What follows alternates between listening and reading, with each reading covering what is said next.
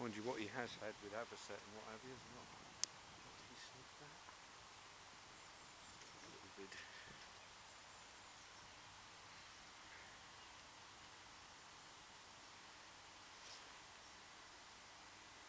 Just hope this bird stays here for